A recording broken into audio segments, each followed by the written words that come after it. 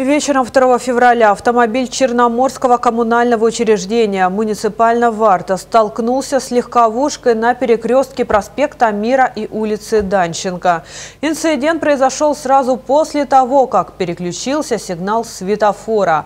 Служебная машина выехала на перекресток на включившийся зеленый, когда параллельно двигавшийся автомобиль попробовал проскочить на уже запрещающий сигнал светофора.